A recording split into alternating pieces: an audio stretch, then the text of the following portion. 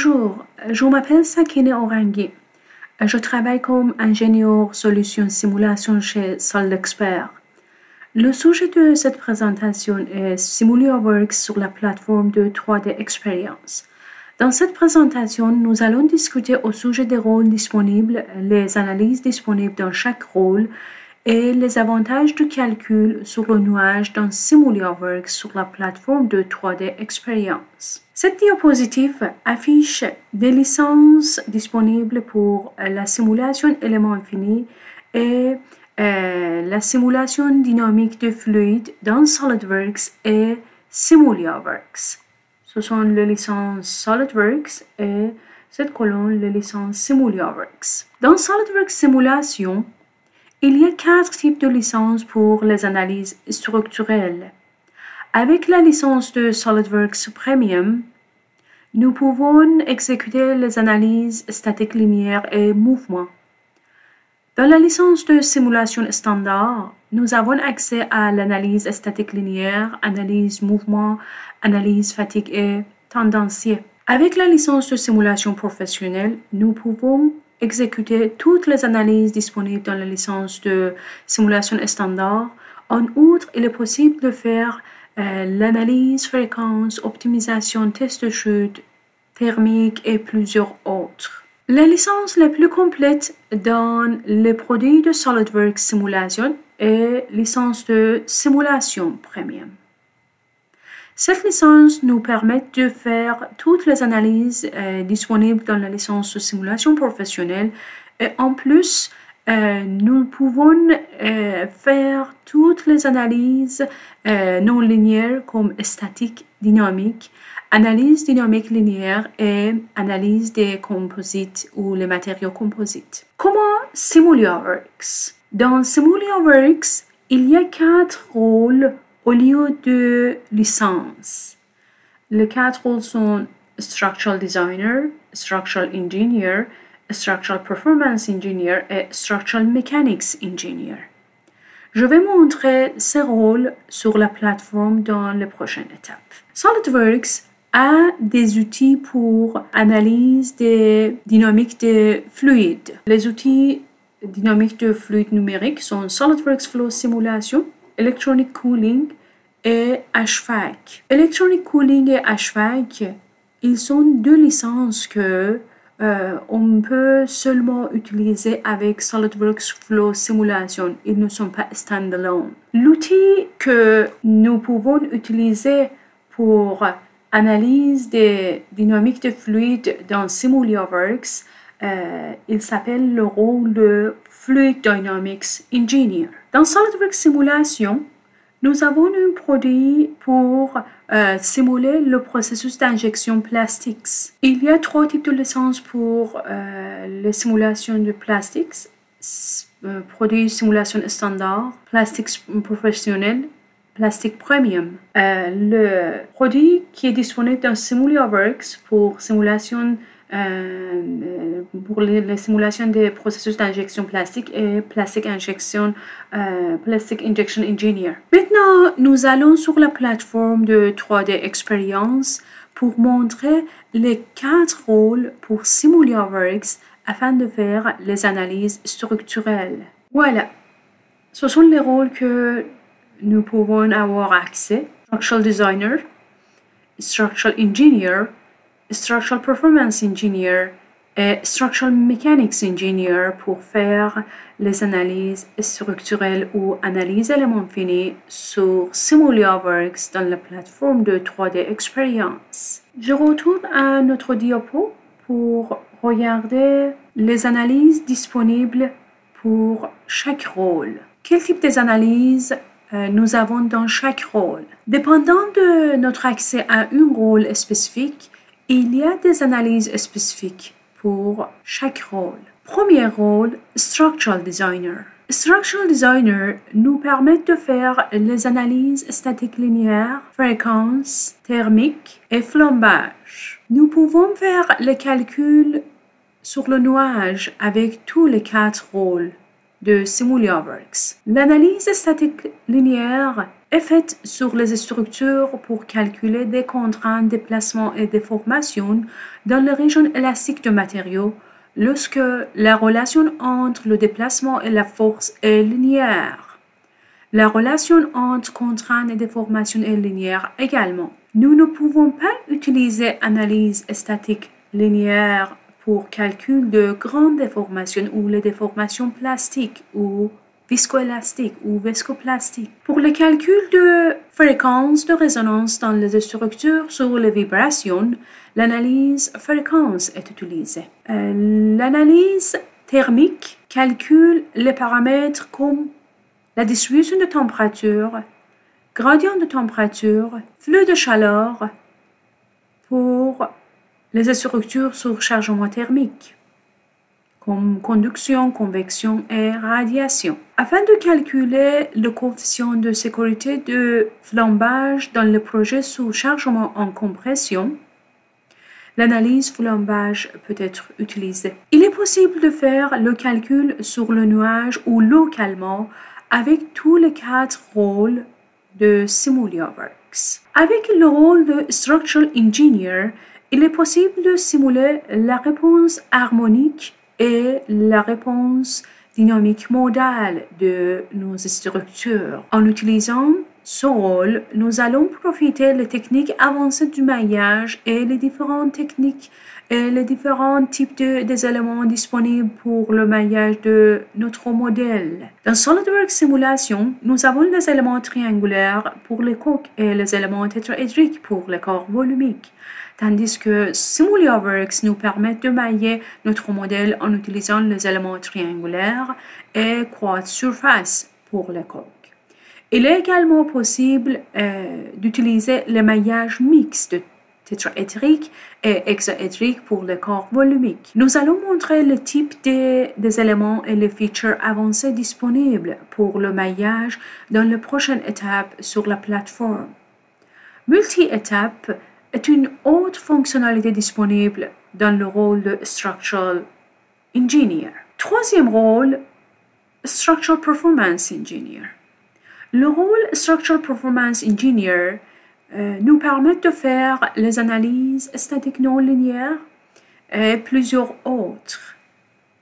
Le mot non linéaire, ça veut dire non-linéarité au niveau de matériaux, au niveau de contact ou la géométrie. Par exemple, si nous avons grand déplacement dans notre analyse, notre géométrie est non linéaire.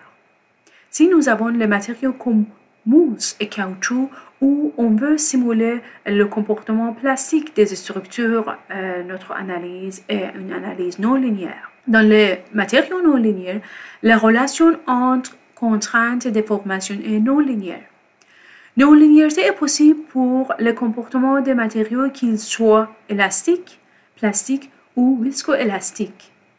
Pour les grandes déformations, déformations plus que 5%, il est mieux d'utiliser les analyses non linéaires. Analyse dynamique non linéaire est également possible euh, avec ce rôle. Le type de solver pour cette analyse dynamique dans ce rôle est implicite.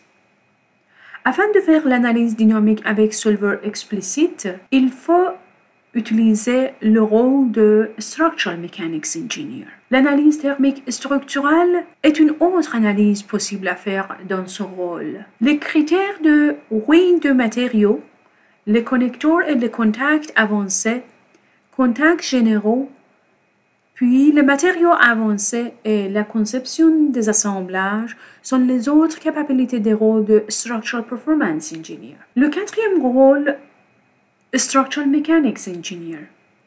Les, analyses dynamiques non linéaires avec le solver explicite est possible avec ce rôle. Normalement, les simulations de processus de production comme le formage des métaux, par exemple extrusion et forgage, sont plus économiques de faire avec l'analyse dynamique et le solver explicite. Les analyses quasi-statiques explicites, fréquences complexes, Analyse euh, dynamique à base de vibrations aléatoires, et la préparation de la géométrie de notre modèle 3D, étalonnage de matériaux, et redémarrage et sous-modélisation sont les autres euh, fonctionnalités de rôle de Structural Mechanics Engineer. Nous allons expliquer au sujet de l'étalonnage de matériaux ou calibrage de matériaux sur la plateforme dans les prochaines étapes. Maintenant, nous allons afficher euh, toutes les analyses disponibles pour les rôles, pour les quatre rôles sur la plateforme. Si nous avons accès au rôle de Structural Mechanics Engineer, ils nous permettent de faire les analyses étapes statiques, dynamique implicite, étape de perturbation statique, analyse fréquence, analyse réponse harmonique, analyse vibration aléatoire, quasi-statique, dynamique explicite, analyse de flambage, analyse dynamique modale. Et finalement analyse de fréquence complexe. Quels sont les avantages de SimuliaWorks? Pourquoi nous avons besoin de utiliser une des rôles de SimuliaWorks? Dans cette image, on voit une analyse qui est progrès 76% dans SolidWorks Simulation pour faire une analyse non linéaire qui a trois types de non-linéarité. Non-linéarité de matériaux, car nous avons caoutchouc. Non-linéarité de géométrie, nous avons grand déplacement et grande déformation. Et non-linéarité de contact dans notre analyse. Euh, j'aimerais montrer notre assemblage dans SolidWorks Simulation et quels sont les settings dans SolidWorks Simulation que nous avons essayé de exécuter simulation dans SolidWorks Simulation, mais après 4 heures, l'analyse n'est pas complétée 100%. Dans notre analyse, il y a deux plaques de métaux qui sont acier AISI 1020 nous avons une pièce qui s'appelle bumper et le matériau de cette pièce est caoutchouc. Le matériau que, qu'il est défini ici est type de modèle hyperélastique monoréviline avec deux constantes de matériaux. Coefficient de Poisson, 495. Première constante de matériaux, 245 000. Deuxième constante de matériaux, 33 000. Masse volumique de caoutchouc, 10 20 kg par mètre cube. Limite de traction, c'est 3 euh, millions. 30 millions, ça veut dire 30 mégapascal. Nous avons défini le matériau caoutchouc dans la bibliothèque de matériaux, matériaux personnalisés les connexions de notre simulation dans SolidWorks Simulation. Ici, nous voyons les contacts définis. La version de SolidWorks que j'ai ouverte maintenant, c'est 2021. Avant 2021, pour les versions 2020 et les anciennes versions, euh, nous avions des termes contact entre ensemble, contact de composants. À partir de 2021, euh, les termes sont changés et maintenant euh, le, terme est utilisé comme interaction locale et interaction de composants au lieu de contact entre ensemble et contact entre composants. Nous avions des contacts, pas de pénétration, permettre la pénétration dans les autres versions de SolidWorks, mais maintenant ils ont changé les mots à contact au lieu de pas de pénétration. Et le mot de permettre la pénétration a été changé à libre. Dans les anciennes versions, nous avons permettre la pénétration. Alors, tous les contacts sont déjà définis dans notre simulation. Le type de contact est contact où on peut s'appeler pas de pénétration dans les anciennes versions de SolidWorks. Déplacement imposé ou les fixations dans SolidWorks simulation. Nous avons bloqué toute la translation et rotation de cette face en utilisant géométrie fixe.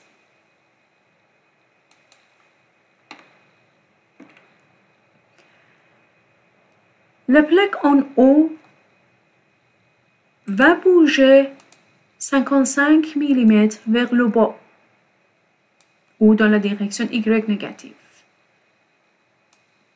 En utilisant une géométrie de référence, nous avons défini le déplacement imposé de 55 mm. Le dernier déplacement imposé, nous avons utilisé pour bloquer la translation de cette face vers axe X et Z.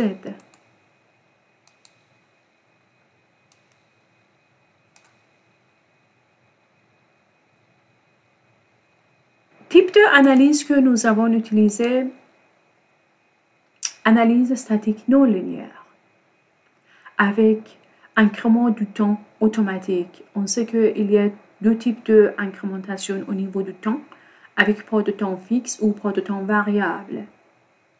Nous avons option de automatique pour exécuter. On exécute la simulation. Comme nous avons déjà affiché dans cette diapositive, après 4 heures, sur SolidWorks Simulation, notre analyse est exécutée 76%. On n'est pas sûr que l'analyse est complète avec succès dans SolidWorks Simulation ou pas. Mais comment dans SimuliaWorks Maintenant, on euh, ouvre le même assemblage dans SimuliaWorks pour voir est-ce qu'il est possible d'exécuter cette simulation sur SimuliaWorks Si oui, il prend combien de temps pour exécuter cette simulation? Notre assemblage exactement dans SimuliaWorks. Nous avons transféré le modèle 3D et les matériaux, les déplacements imposés et toutes les étapes sur SimuliaWorks dans analyse statique non linéaire. Si on regarde pour type de matériaux dans SimuliaWorks versus SolidWorks Simulation.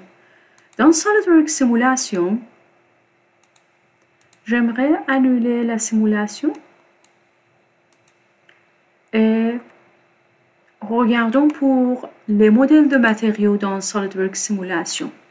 Quelle est la différence entre SolidWorks Simulation et SimuliaWorks au sujet de type de modèle de matériaux? Dans SolidWorks Simulation, nous avons euh, les modèles pour simuler comportement élastique de matériaux qui soient isotropiques ou orthotropiques. Hmm, les comportements élastiques linéaires que on, a déjà vu dans l'analyse statique linéaire ou pour comportements élastiques de matériaux qui soient non linéaires, par exemple euh, caoutchouc. Il est possible d'utiliser SolidWorks Simulation statique non linéaire pour simuler les comportements plastiques des structures. Par exemple, euh, pour grandes déformations et petites déformations, nous pouvons utiliser le comportement plasticité von Mises. Mais pour petites déformations, euh, il est possible d'utiliser euh, plasticité. On ne peut pas utiliser analyse plasticité Tresca pour les grandes déformations. pour les métaux, il est possible d'utiliser plasticité von Mises ou Tresca.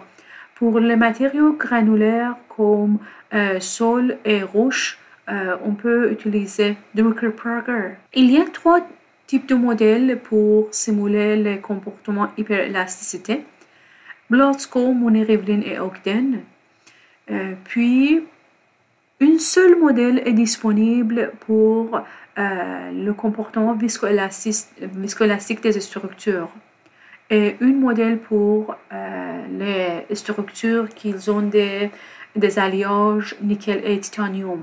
Quand est-ce que nous avons besoin d'utiliser euh, comportement viscoélastique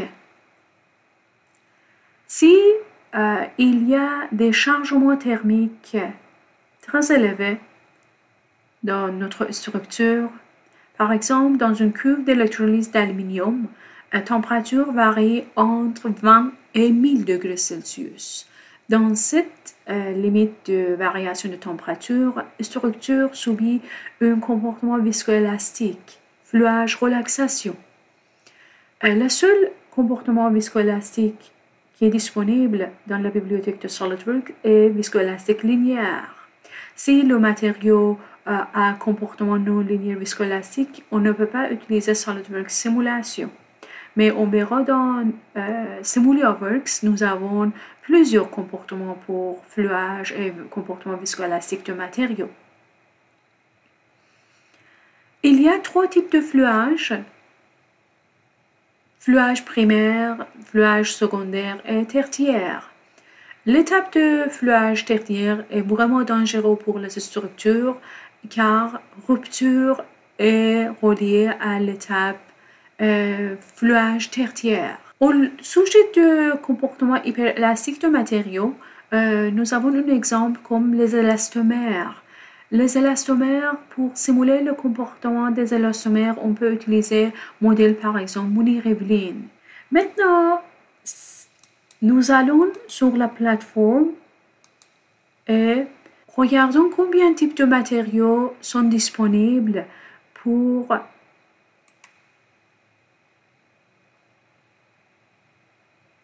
sur SimuliaWorks pour plusieurs comportements. Je vais ouvrir domaine de simulation. Encore, nous avons ici dans SimuliaWorks exactement euh, le comportement élastique, hyperélastique.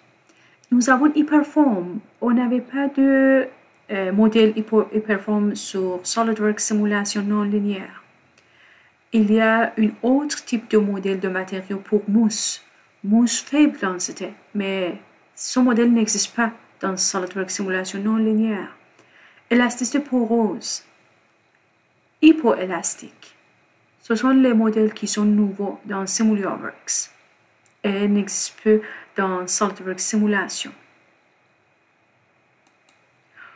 Au niveau de comportement plastique de matériaux, nous avons plasticité pour les métaux, pour les roches et sols, béton. C'est vraiment très intéressant que dans SimuliaWorks, nous pouvons simuler euh, les structures avec les matériaux du béton, mais on ne peut pas utiliser SolidWorks Simulation pour les matériaux béton. Alors, une avantage de SimuliaWorks est la bibliothèque de comportement de matériaux que nous avons plusieurs types de variétés de comportements de matériaux pour simuler euh, des structures de euh, plusieurs types de matériaux. Euh, il y a un modèle pour les mousses écrasables. Nous avions Nitinol dans SolidWorks Simulation également. Ici, il y a un modèle pour, super, pour comportement pour élasticité de matériaux. Il y avait un seul modèle pour simuler comportement viscoélastique de matériaux dans SolidWorks Simulation. Mais dans SimuliaWorks, nous avons plusieurs viscoélastiques linéaires, viscoélastiques non linéaires, fluage, gonflement de fluage volumétrique. Il y a des modèles pour endommagement, endommagement méthoductile ou composite. Alors, ça c'est l'avantage ou ces bibliothèques riches de modèles de matériaux de SimuliaWorks que nous pouvons utiliser pour euh, plusieurs types de matériaux dans notre simulation. On va sur euh, le scénario de SimuliaWorks pour la simulation. Matériaux est expliqué. Maintenant, comment les contacts Dans SolidWorks Simulation, nous avons défini six contacts, contacts locaux. Mais dans SimuliaWorks, il y a seulement un seul contact défini qui est propriété d'interaction de contact, comportement tangentiel. Nous avons utilisé module de, module de Coulomb avec euh, pénalité, puis coefficient de frottement est 0.1. Ça, c'est le seul type de contact que nous avons défini. Alors, une contact versus six contacts dans SolidWorks Simulation. Nous allons économiser au niveau de manipulation des contacts et au niveau de calcul et maillage dans cette simulation. Alors, deuxième avantage de SimuliaWorks, c'est les algorithmes avancés ou les techniques avancées pour la définition des contacts. Où on peut trouver le contact dans SimuliaWorks? Dans l'onglet de interaction il y a euh, outils de détection de contact, contact basé sur la surface, euh, propriété euh, d'interaction du contact, initialisation du contact, interférence de contact et plusieurs autres options disponibles dans l'onglet de interaction de contact. Nous pouvons utiliser cet onglet pour définir les contacts dans nos simulations. Fixation, nous avons déjà transféré tous les déplacements imposés de nos simulations, ici dans SimuliaWorks. Le chargement, on avait 55 mm vers le bas, qui est déjà transféré. Au niveau du maillage, dans SolidWorks Simulation, nous avons un seul type élément tétraédrique pour euh, simuler pour mailler les corps volumiques. Un seul type élément triangulaire pour des corps, des corps surfaciques. Mais comment dans SimuliaWorks?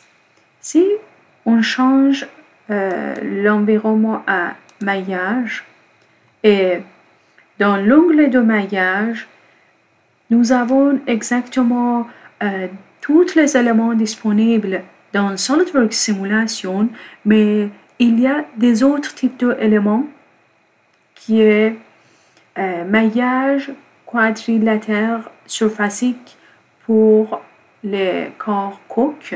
Il y a maillage des éléments hexaèdres en utilisant les éléments hexaèdres dans SimuliaWorks.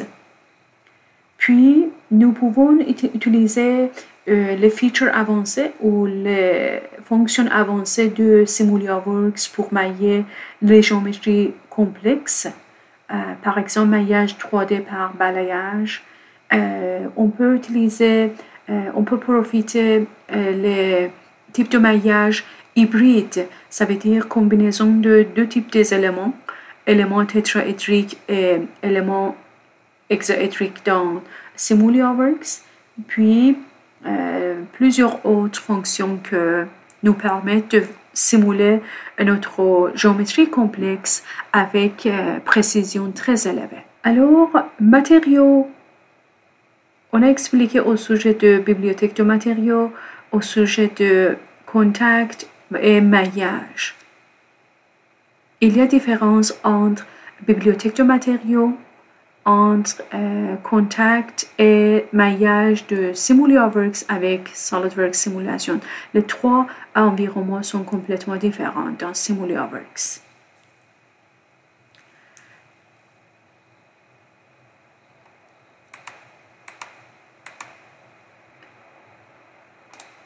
J'aimerais setuper étape pour exécuter simulation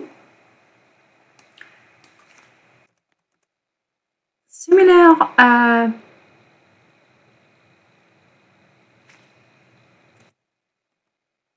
similaire à euh, étape dans euh, SolidWorks simulation non linéaire que nous avions deux méthodes automatiques ou fixes. Euh, il y a deux méthodes de sélection d'incrémentation du temps. Euh, on peut utiliser la façon automatique que incrément de temps initial, minimal et maximal, euh, on le donne au logiciel et point de temps sera variable dans les analyses. Ou si on utilise option fixe, point de temps est fixe en tout temps pour nos analyses. suppose que on donne incrément de temps initial 0.05 secondes, incrément de temps minimal 10 microsecondes, puis incrément de temps maximum est 0.06 secondes. Durée d'étape totale pour cette simulation est 1 seconde. Et nombre de, des incréments maximum est 1000. Si on va dans l'option avancée, euh, nous avons déjà coché inclure la non-linéarité géométrique. Alors, nous avons setupé l'étape, puis comment exécuter simulation? On va sur onglet simuler, cliquez sur simuler,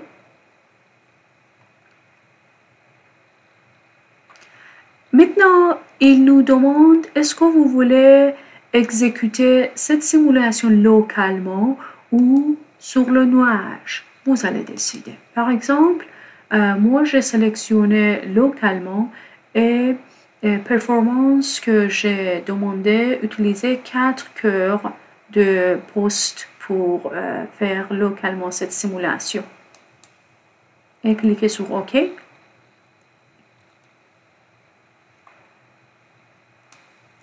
Simulation a commencé à exécuter.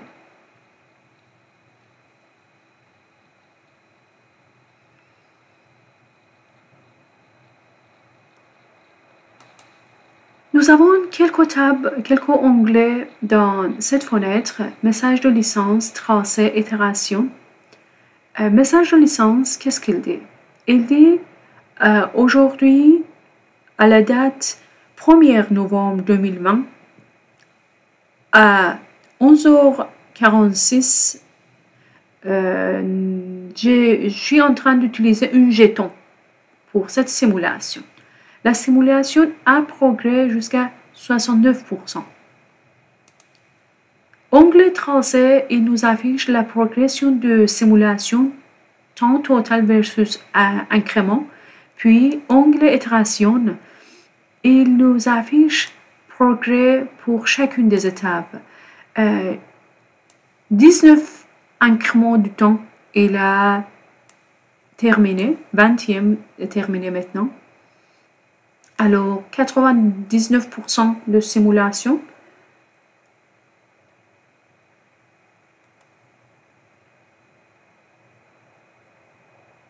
On attend pour exécuter la simulation jusqu'à 100. 100% de notre simulation est complétée.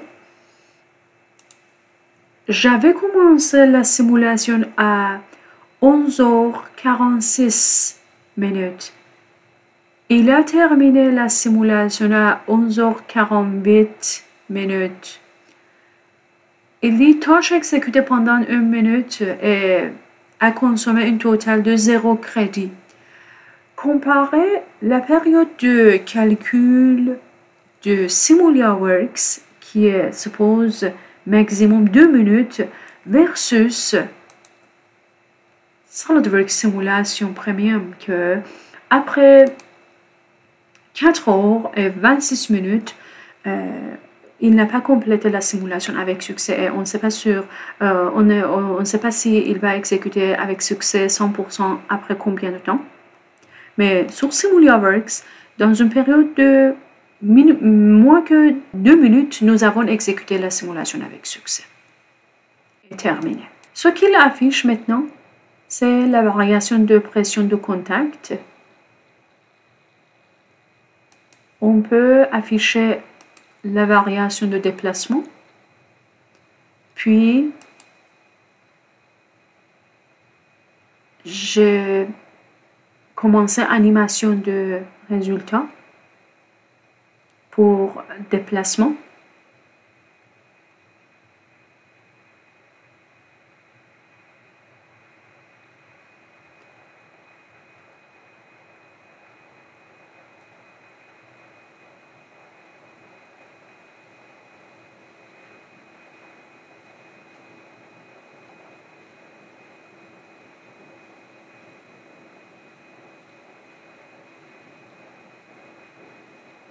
Si on change euh, les résultats, on regarde euh, la distribution de contraintes sur notre assemblage.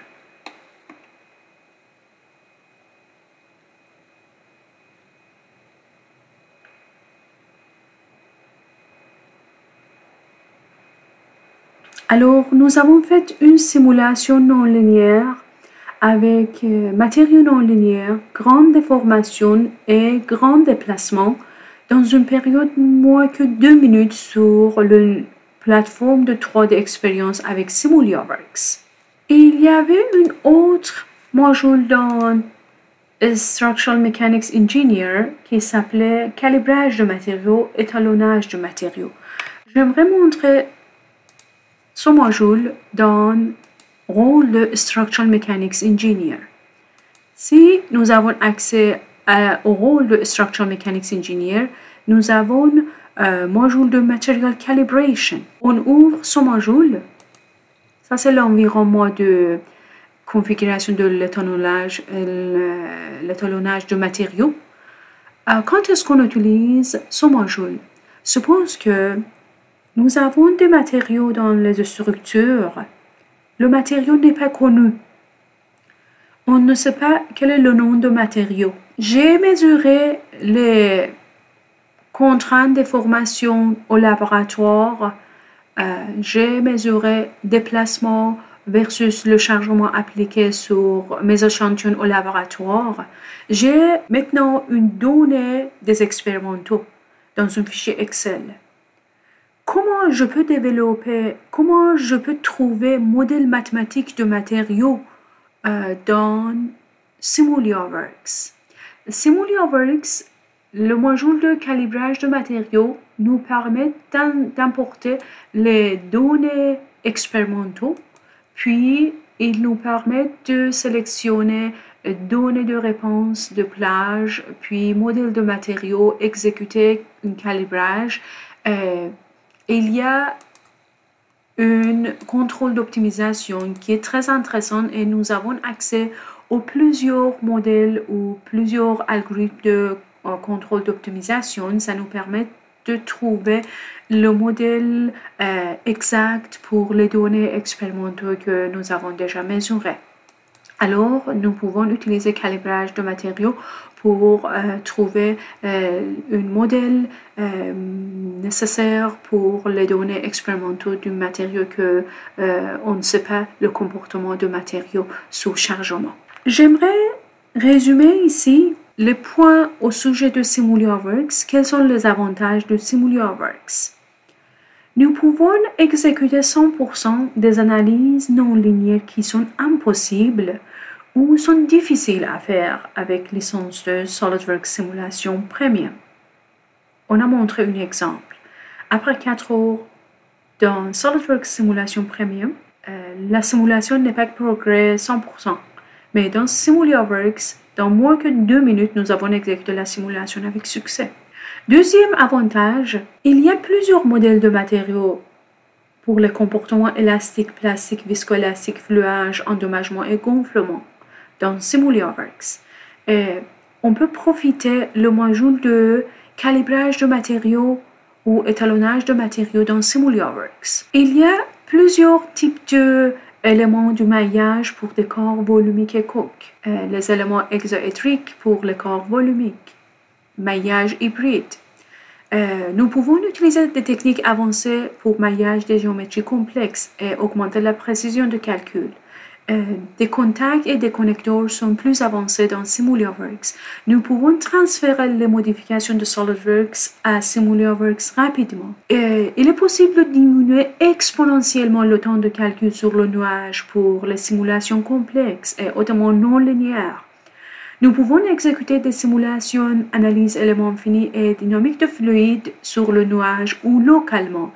Si euh, on exécute les simulations sur le nuage, on peut libérer nos postes pour les autres projets.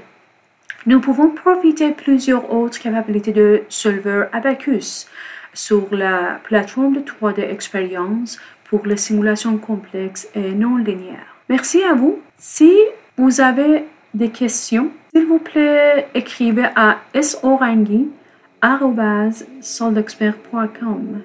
Merci et à la prochaine.